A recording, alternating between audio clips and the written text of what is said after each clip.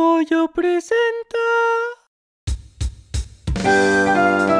Él es tomate. Y ella es zanahoria, tomate y zanahoria, zanahoria y tomate. Ella es zanahoria, Y él es un tomate. zanahoria y tomate, tomate y zanahoria. Tomate y zanahoria. Después de Reyes.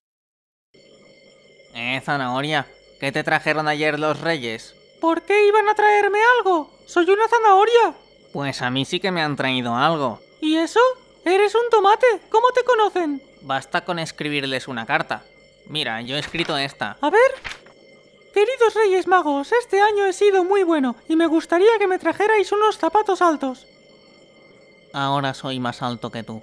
Pero esto no tiene ningún sentido, o sea, para empezar, eso de que has sido muy bueno es mentira. Te subiste al tejado, mentiste diciendo que tu podrido era chocolate, echaste a patata de la nevera, en noviembre destruiste el universo dos veces y la semana pasada hiciste que los japoneses invadieran el mundo. Ya, bueno, pero... Y además, ¿cómo sabían dónde vives? No hay ninguna dirección en la carta y ni siquiera mencionas que eres un tomate. ¿Se supone que deben darlo por hecho o algo? Nada de eso importa, porque son mágicos. Escribes lo que quieres, te lo traen y ya.